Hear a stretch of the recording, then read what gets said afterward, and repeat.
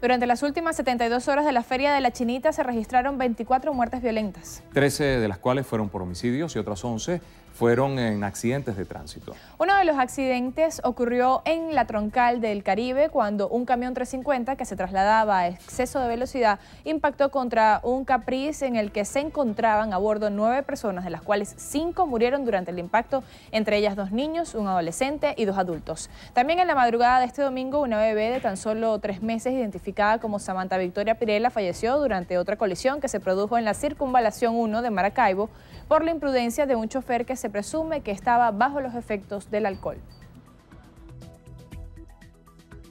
Estacionó su vehículo en el canal rápido, se estacionó y a dormir.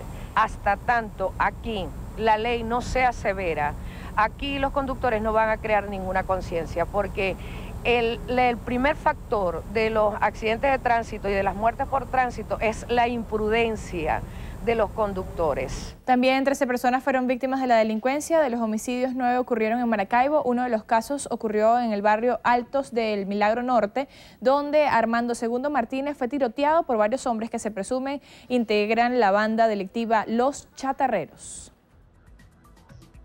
El móvil que se maneja en este homicidio es el ajuste de cuentas ya que varias personas eh, del sector pertenecientes a la banda Los Chatarreros irrumpieron en su vivienda y le, efectuaron varios disparos ocasionando la muerte. Solo cuatro días han transcurrido desde el inicio de la Feria Internacional de la Chinita y ya se han incrementado las muertes por accidentes de tránsito, por lo que las autoridades hacen un llamado a la colectividad a que conduzcan con precaución y a que no lo hagan bajo los efectos del alcohol.